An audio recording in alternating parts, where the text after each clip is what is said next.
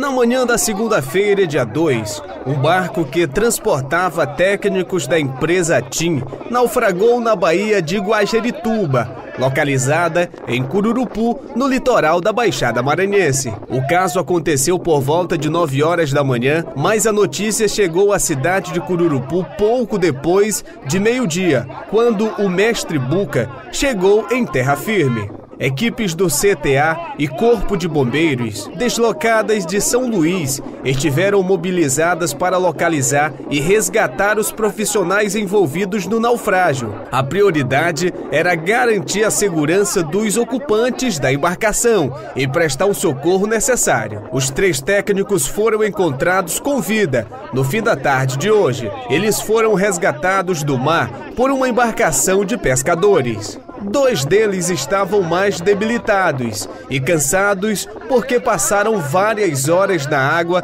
à espera de socorro. Aos pescadores que fizeram o resgate, um deles disse que chegaram a avistar o helicóptero do CTA, mas acredita que eles não foram avistados pelos policiais. Mais de 50 barcos estavam no mar à procura dos profissionais da empresa.